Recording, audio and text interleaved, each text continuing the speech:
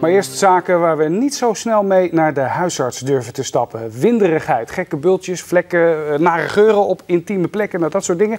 Kortom, geen gekneusde vinger, maar echt een beetje gênante zaken. Vanavond gaan we dat allemaal zien in een nieuw programma van RTL 4. Dit is Mijn Lijf. Met in het team van artsen onze eigen dokter Felix van der Wissel uit Amersfoort. En het team trekt met een vrachtwagen door heel Nederland. Ja, een soort uh, mobiel spreekuur dus. En dat is een concept dat Felix al heel goed kent. Vijf jaar geleden maakte hij tenslotte voor RTV Utrecht Vitamine U.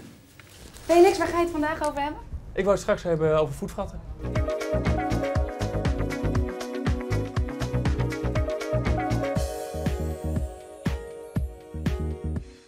Dit is een voetvrat. En een voetvrat is lastig. Want als je loopt, dan betekent dat dat een drukgevoel geeft en pijn geeft. En het wordt vaak verward met een likdoorn. Een likdoorn is een, echt een drukplek en een vrat is een virus.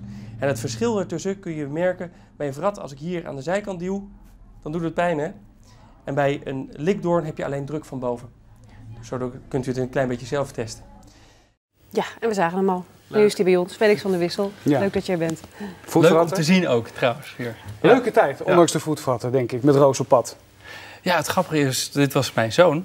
En oh, die heb ik toen ja, meegenomen, want ik moest het laten zien. En ik wil het hebben over voetvratten, dus zo werkt het een klein beetje. Moet je ook iemand hebben ja. natuurlijk. Ja. hey, is het nou heel anders wat je gaat doen vanaf vanavond op tv?